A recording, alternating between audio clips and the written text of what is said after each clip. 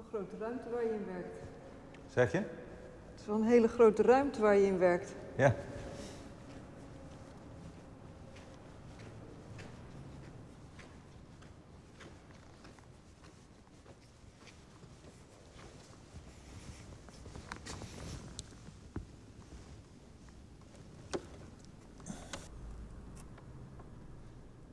Dit is een tafel die ik aan het maken ben en daar wil ik een tafereel op maken. En sommige van die taferelen die hebben van doen met eh, het leven in ehm, de steentijd. En de andere die hebben van doen met eh, boerderijen en eh, landbouw en akkerbouw en veeteelt gedurende de laatste 5000 jaar. En sommige, zoals deze, die heeft te maken met cannibalisme. Ik had een keer een plan om bloedworst te maken van mijn eigen bloed.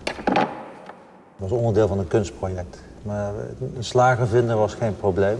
Want die zei ja, het maakt mij niet uit eh, wat voor vark ik eh, bloed ik heb om, eh, om te maken. Dus dat voor jou is ook goed. Alleen de, de verpleegsters om het bloed af te nemen, die waren bang dat ze hun vergunning zou kwijtraken. Dus uiteindelijk is het niet gelukt. Ja. Maar goed, ik weet ook, ja, ik zou het toch ook een beetje raar vinden om je eigen bloedworst te eten. Ik zoek denk ik altijd een gebied op wat op, op een of andere manier op een, eh, op een grens zit of op een splijtvlak zit. Op een uh, splijtvlak tussen uh, goed en slecht, mooi en lelijk, rationeel en irrationeel, heel en surreëel.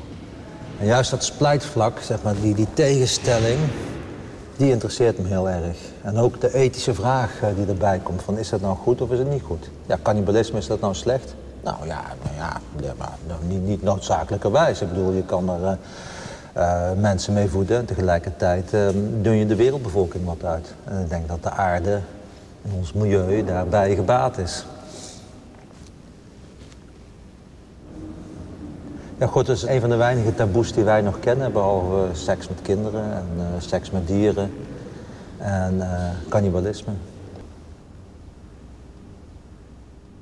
Ben je niet bang dat mensen heel erg gechoqueerd zijn als ze zo'n tafel zien? Ja, en dan?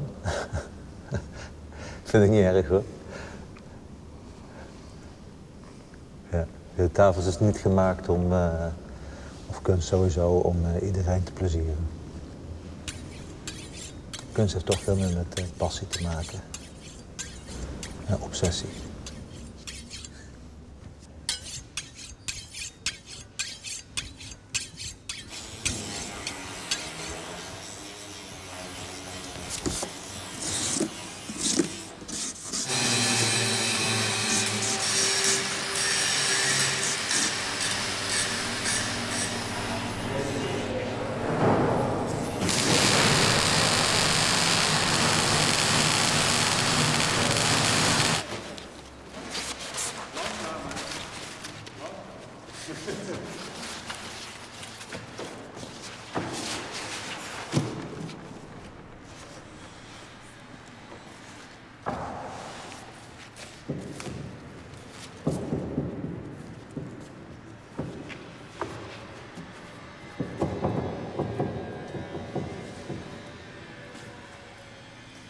Hoe komt het dat je zo vreselijk beroemd bent? Weet je dat? Ja, dat is natuurlijk een aantal factoren. Uh, de eerste denk ik dat ik wel uh, talent heb. En ten tweede, ja, op de juiste plaats, op de juiste tijd, de juiste dingen doen. Dat je gewoon geluk hebt, zeg maar eventjes. Dat je iets maakt waarvan sommige mensen zeggen van wauw, fantastisch. Het is belangrijk. En te tegelijkertijd, wat nog veel belangrijker is, is om dat moment te kunnen vasthouden. Om daar iedere keer weer te blijven verrassen of te verbeteren of onverwachte dingen te doen die, die mensen intrigeren. Dat is nog moeilijker. Ik bedoel, in, de, in deze eh, kunstwereld is er zoveel aanbod en zoveel concurrentie dat je ja, heel snel en gemakkelijk ingewisseld wordt voor een ander exemplaar. En, uh, maar daar, zeg maar, die carrièreplanning, daar hou ik me niet zo mee bezig. Want ik heb geleerd eigenlijk dat ik best wel op mijn intuïtie kan vertrouwen. Dat ik gewoon doe wat mij te binnen schiet.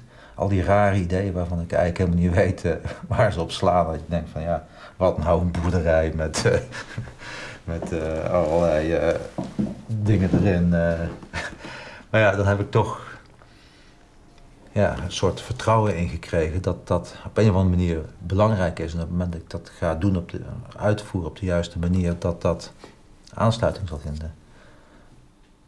Denk ik.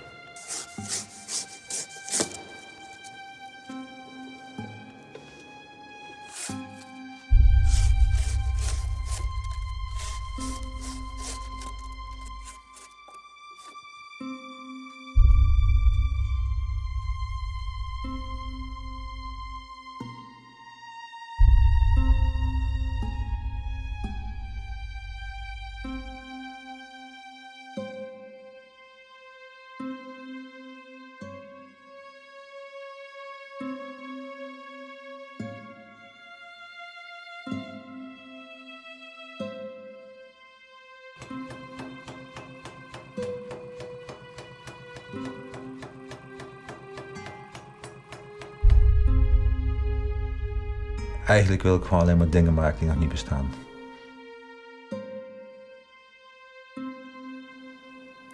Daar word ik ook heel erg ongelukkig van als iemand anders het al eerder heeft gedaan.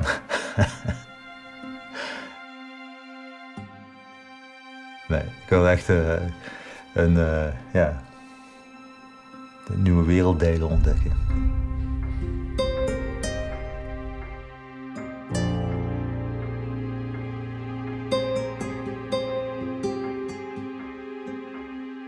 Keer wat nieuws ontdekken en steeds verder gaan. En daar ook tevreden mee zijn.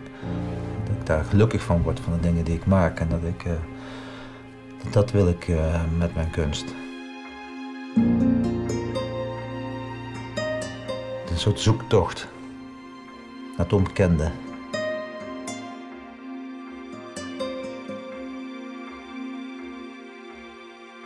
Nou, ik wilde eerst uh, bakker worden. En toen uh, wilde ik uh, wetenschapper worden, fysicus. En toen kunstenaar.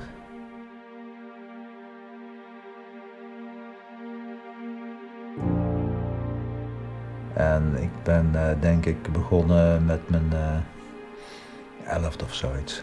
Dat ik echt kunstenaar wilde worden en ging tekenen, schilderen en ging nadenken over mijn toekomst.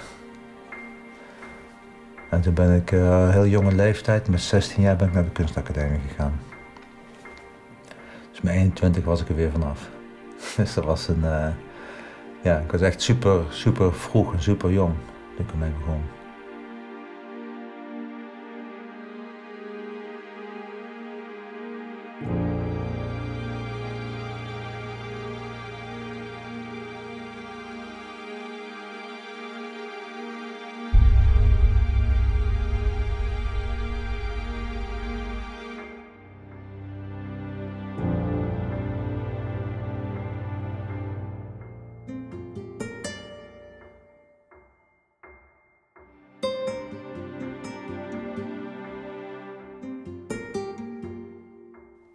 Jij bent benieuwd wat ik had gedaan als ik uh, wetenschapper zou zijn geworden.